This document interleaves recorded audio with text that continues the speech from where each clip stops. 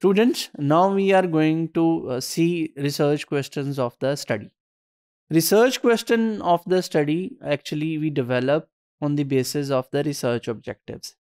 And research question define the nature and scope of a research project as well. And in a research question, researcher focus uh, their intention on certain puzzles or issues and uh, in a research question influence the scope and depth of the research as well and a research question point towards certain research strategies and methods of data collection and analysis and research questions set expectations for outcomes जो research question होता है quantitative research में वो तीन चार ये जो मैंने अभी आपको चीज़ें बताई हैं इसको डिटर्मिन कर रहा होता है जैसे कि हम जो स्टडी मेथडोलॉजी है कि क्वांटिटेटिव रिसर्च में कौन सा आपका रिसर्च डिज़ाइन यूज़ होगा? सर्वे रिसर्च होगी एक्सपेरिमेंटल रिसर्च होगी कंटेंट एनालिसिस होगा, या हिस्टोरिकल कंपैरेटिव रिसर्च होगी? इन चारों में से कौन सा रिसर्च डिज़ाइन हम जो है यूज़ करेंगे? इसका हमें पता चलता है रिसर्च क्वेश्चन से। और इसी तरह हमें यह रिसर्च क्वेश्चन जो है, वो हमारी एक्सपेक्टेशंस को भी सेट करता है कि हमारी जो रिसर्च प्रोजेक्ट की से आप जो है, जो इन्वेस्टिगेशन करेंगे, वो किस लेवल की है? वो एक्सप्लोरेटिव लेवल की है, वो डिस्क्रिप्टिव लेवल की है, वहीं वो एक्सप्लेनेटरी लेवल की है। और इसके साथ साथ रिसर्च क्वेश्चन जो है वो जो है आपका स्कोप भी बताता है कि आपकी स्टडी क्या नेशनल लेवल की है प्रोविंशियल लेवल की है, या एक छोटी कम्युनिटी लेवल की स्टडी है?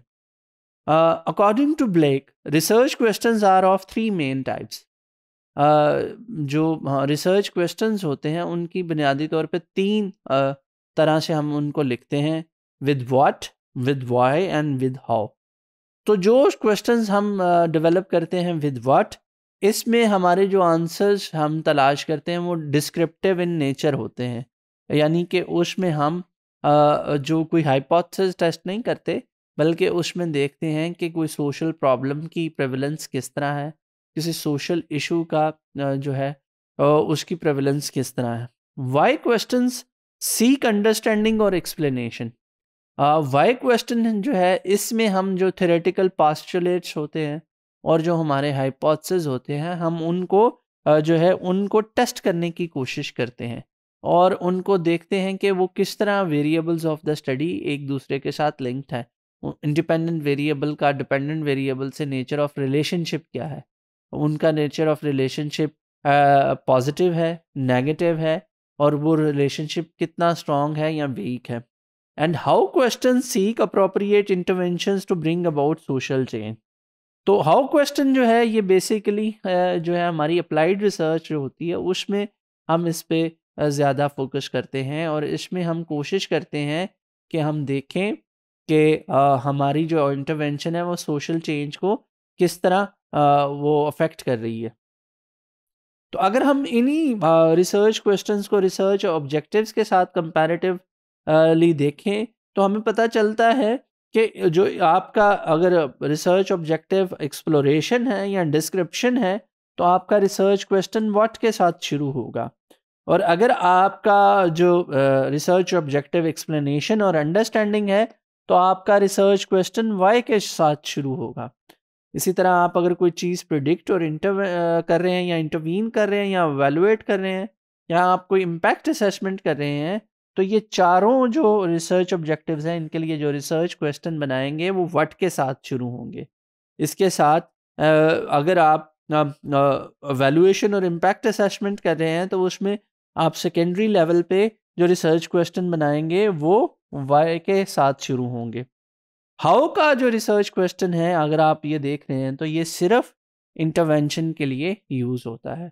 हम जब किसी थ्योरी को टेस्ट कर रहे हैं बेसिक रिसर्च में, या किसी फिनोमेना को अंडरस्टैंड कर रहे हैं तो उसमें हम जो है रिसर्च क्वेश्चन को हाउ के साथ शुरू नहीं करते हैं।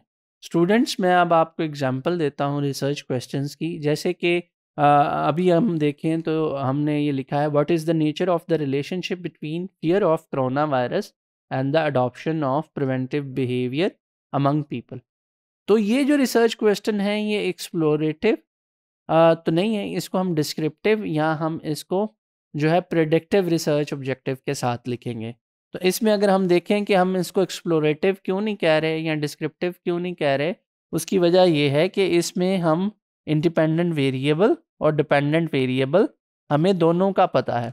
इंडिपेंडेंट वेरिएबल को हम आईवी के साथ डिनोट करते हैं और डिपेंडेंट वेरिएबल को हम डीवी के साथ डिनोट करते हैं। हम इन दोनों के दरमियान इस रिसर्च क्वेश्चन में रिलेशनशिप देखना चाह रहे हैं कि नेचर ऑफ़ रिलेशनशिप क्या है।